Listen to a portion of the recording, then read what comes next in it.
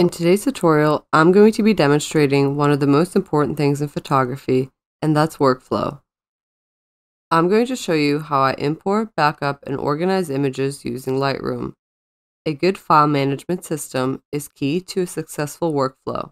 We are going to start off by plugging in our memory card reader with our memory card inside into our computer.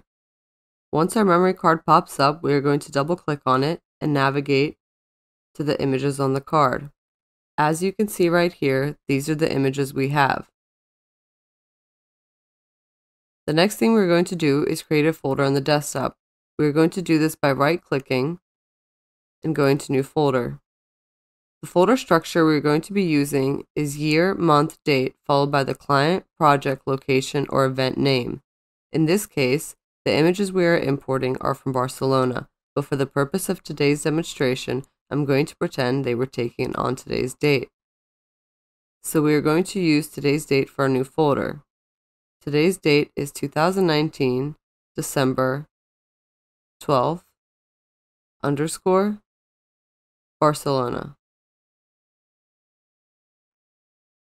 Once this folder is created, we are going to double click on that folder, and within this folder, we are going to create two folders. The first folder we are creating is the one that will hold all of our images. This folder is going to be called 0-raw. The second folder we are going to create will be holding our Lightroom catalog. This folder will be called 1-LR. Now we are going to click on our raw folder, navigate to our card, click on an image, press Command A to select all, and then we are going to drag these images into our newly created raw folder.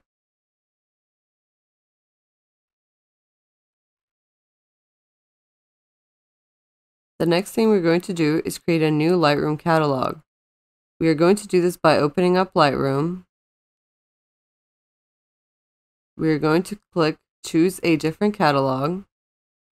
We are going to go down to create a new catalog. We are going to navigate to our Lightroom folder that we created on our desktop called 1-LR. We're going to call this Lightroom catalog Barcelona. Once we have created our new catalog, we are going to go to the bottom left of the screen and click Import. Once the import dialog appears, you'll notice that up here, it's currently selected that it's importing images from our card reader.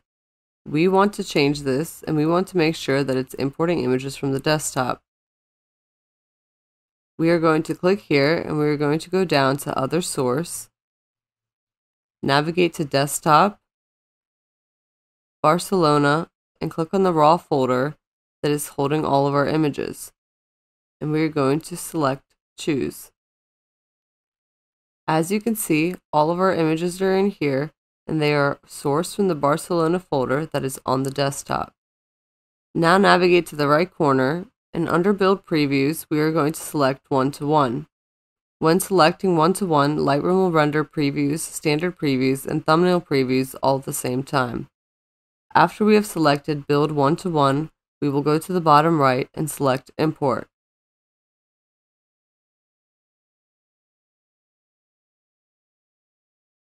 When building one-to-one previews, you are speeding up your workflow because you're able to look at your images at 100%, which enables you to check for sharpness, focus, etc.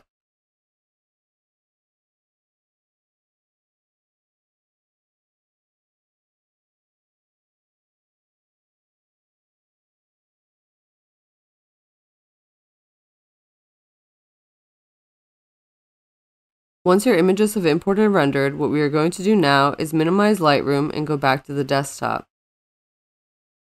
Now I will show you an example of how I use a color coding system to organize my workflow and keep track of progress on projects.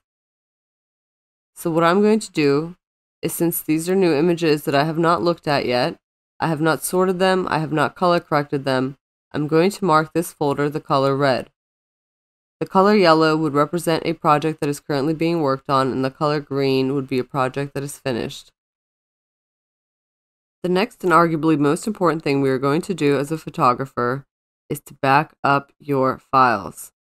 If you are a hobbyist, aspiring professional, or working professional, regardless of the level of photography, it is an absolute must to back up your files. So now what I want to do is back up these files to my portable working drive. This just ensures that I have a second copy, so while I am working on these, in case anything would happen to the files, I have that second copy on my portable drive. So I'm going to plug in the hard drive. We are going to double click on the hard drive called travel. So within this, what I want to do is when we are starting out our year that we organize it from the beginning. So I'm going to create a folder called photography.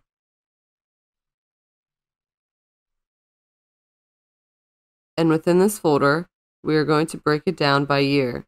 Since this is the first year we're starting, we will start with 2019. And now we will take the Barcelona folder from our desktop and drag it into our 2019 folder on our portable hard drive. You can use the hard drive type of your preference. For long-term storage, I recommend a stationary hard drive. I am only using this portable as my temporary working backup. Once we have transferred our files, now we can safely begin working on a project. We are going to open Lightroom again. So now when looking at our catalog, the most important thing is that we look through every image and check for sharpness and focus. Since we have rendered one-to-one -one previews, we are now able to look at each image at 100%. I like to tab through and check every image for focus. In my next video, I will be discussing how I sort, label, and color correct images in Lightroom. I hope you found this workflow video informative and helpful. If you have any questions regarding the topic of this video, feel free to send a comment or shoot over an email. I'd be happy to answer any questions. Thank you for watching and for your support.